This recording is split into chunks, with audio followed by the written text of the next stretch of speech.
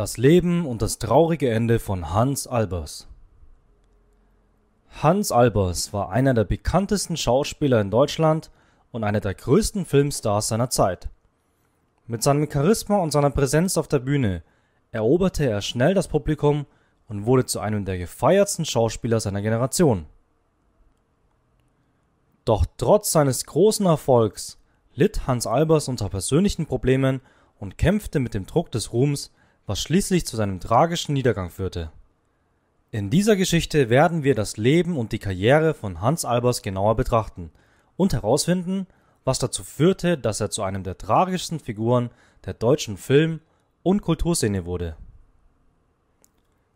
Hans Albers wurde am 22. September 1891 in Hamburg als Sohn eines Seemanns geboren. Als Kind hatte er eine schwierige Beziehung zu seinem Vater, der oft auf See war und nur selten zu Hause war. Dies führte dazu, dass Hans Albers sich einsam fühlte und seine Mutter eine wichtige Bezugsperson für ihn wurde. Schon früh zeigte Hans Albers eine Leidenschaft für das Schauspiel und trat bereits in seiner Jugend in Theaterproduktionen auf. Er war ein begabter Schüler und begeisterte sich für Literatur und Kunst, was ihm später in seiner Karriere als Schauspieler zugutekommen sollte. Allerdings hatte Hans Albers auch mit persönlichen Problemen zu kämpfen. Er litt unter Depressionen und hatte Schwierigkeiten, sich in der Schule zu konzentrieren. Trotzdem gab er nicht auf und setzte sich das Ziel, Schauspieler zu werden, was ihn schließlich dazu brachte, sich in einer Schauspielschule in Hamburg zu bewerben.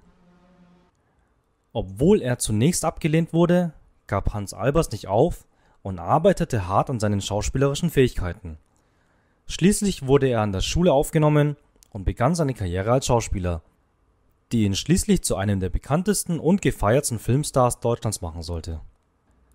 Hans Albers Durchbruch im Filmgeschäft kam im Jahr 1929, als er in dem Film Die Nacht gehört uns von Regisseur Karl Fröhlich mitwirkte. Der Film war ein großer Erfolg und machte Albers über Nacht zum Star. Er war ein Meilenstein in der deutschen Filmgeschichte und legte den Grundstein für Albers Karriere als Schauspieler. Daraufhin spielte Hans Albers in zahlreichen weiteren Filmen, die ebenfalls sehr erfolgreich waren.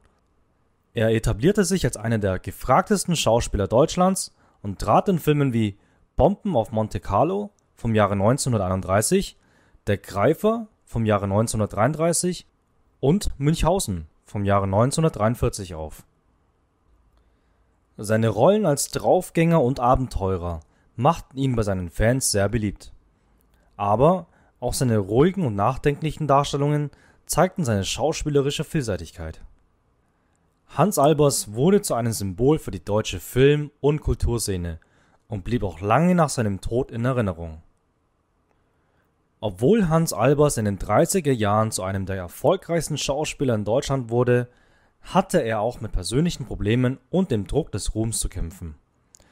Er war ein bekannter Frauenheld und hatte viele Beziehungen, aber keine hielt lange. Während des Zweiten Weltkriegs spielte Hans Albers in Propagandafilmen, was ihm von einigen Kritikern später vorgeworfen wurde.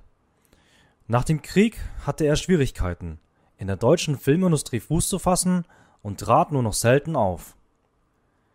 Die Tragödie im Leben von Hans Albers bestand darin, dass er trotz seines großen Erfolgs und seiner Popularität nie wirklich glücklich war.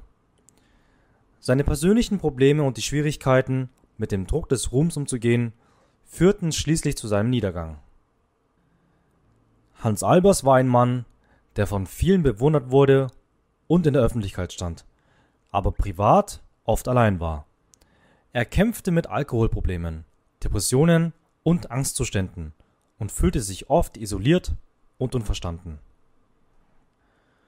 Obwohl er als Schauspieler erfolgreich war und in zahlreichen Filmen auftrat, litt Hans Albers darunter, dass er oft auf stereotype Rollen festgelegt war. Er sehnte sich danach, als Schauspieler ernst genommen zu werden und vielseitigere Rollen spielen zu können, was ihm aber nur selten gelang. Die Tragödie seines Lebens besteht darin, dass Hans Albers nie wirklich seine inneren Dämonen besiegen konnte. Sein Erfolg als Schauspieler und Filmstar konnte ihm nicht das erfüllen, was er sich im Leben wünschte. Trotzdem bleibt er eine legendäre Figur in der deutschen Film- und Kulturszene und hat die Herzen vieler Menschen erobert. Der Tod von Hans Albers war ein großer Schock für seine Fans und Kollegen in der Filmindustrie. Er starb am 24. Juli 1960 im Alter von 68 Jahren an den Folgen eines Herzinfarkts in seinem Haus in Starnberg. Obwohl Hans Albers Gesundheitszustand in den Jahren vor seinem Tod immer schlechter geworden war, kam sein Tod unerwartet. Sein plötzlicher Tod war ein großer Verlust für die deutsche Film- und Kulturszene und viele Menschen trauerten um ihn. Hans Albers Vermächtnis lebt jedoch weiter und seine Beiträge zur deutschen Kultur- und Filmgeschichte werden immer in Erinnerung bleiben. Seine Filme und sein schauspielerisches Talent haben eine Generation von Schauspielern inspiriert und werden auch in Zukunft noch viele Menschen begeistern. Jetzt ist es an der Zeit, Ihre Meinung zu hören. Was denken Sie über die Tragödien, die er tragen muss? Teilen Sie uns Ihre Meinung in den Kommentaren mit und lassen Sie uns wieder reden. Wenn Ihnen das Video gefallen hat, lassen Sie doch bitte gern wieder ein Like da und teilen das Video.